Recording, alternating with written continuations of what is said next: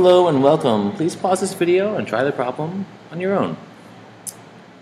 So first of all, uh, they're asking which equation has the same solution as this equation right here, right? I'll, I'll write it out. x squared plus 6x minus 7 equals 0.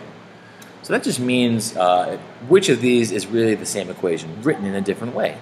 Now I could factor this thing out to try and figure it out. It won't help me, uh, not right away, it'll, it'll show me that if I try and factor this out, I need factors that multiply negative 7, so some combination of 7 and 1, positive and negative, where 7 is positive and 1 is negative, because they have to add, also add to negative 6.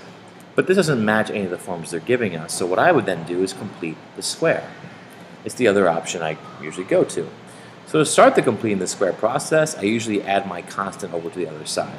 Otherwise, things just get confusing for me. You don't have to do this step first. It's just easiest for me. So again, I add 7, the constant to both sides.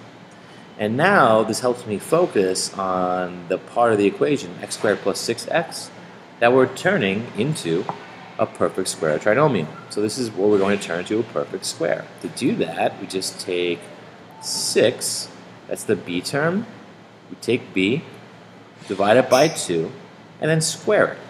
This, this process will create a perfect square trinomial. So 6 divided by 2 squared, which is 3 squared, or 9. Right? So this means if we add 9 to both sides, we've created a perfect square trinomial that is factorable. So this thing is just x plus 3 times x plus 3.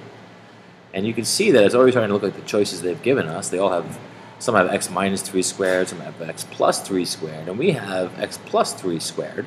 So already we're eliminating. And we have 7 plus 9 is 16.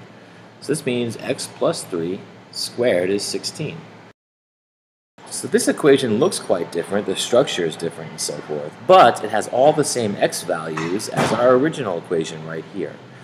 And that just goes back to the properties of equality. We add it to both sides, um, and we do that constantly and then factored, and that, that maintains equality in our equation. So these are the same these equations have the same solutions. I'll say it that way. So that means the answer is just choice 4. All right, thanks.